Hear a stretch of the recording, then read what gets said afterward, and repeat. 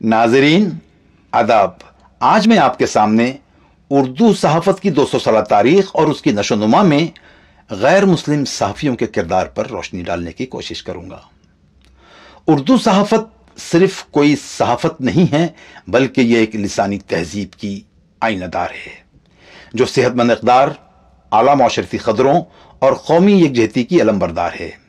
उर्दू सहाफत के 200 साल मुकम्मल होने का मतलब है, जीती जागती मुश्तर तहजीब के 200 सालों का सफ़र तारीख ने अपनी आँखों से देखा है।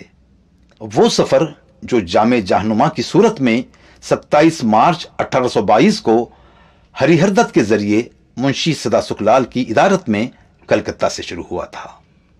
इसका अगला पड़ाव सहर सामरी के ज़रिए लखनऊ में घेर नारायण अयाश और पंडित बैजनाथ के ज़रिए अमल में आया।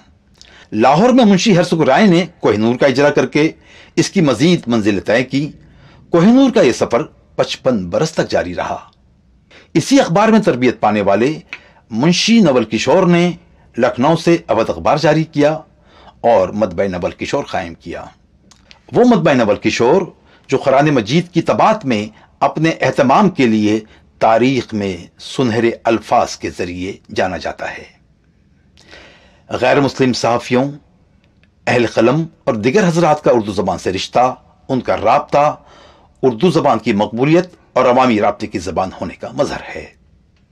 ये रिश्ते अठारह से पहले भी मज़बूत थे और उन्नीस के बाद भी मज़बूत और मुस्तकम हैं। यही वजह है कि रोजनामा प्रताप अपनी इशात के सौ साल मुकम्मल कर चुका है। रोजनामा मिलाप और रोजनामा राष्ट्रीय सहारा आज भी जारी हैं।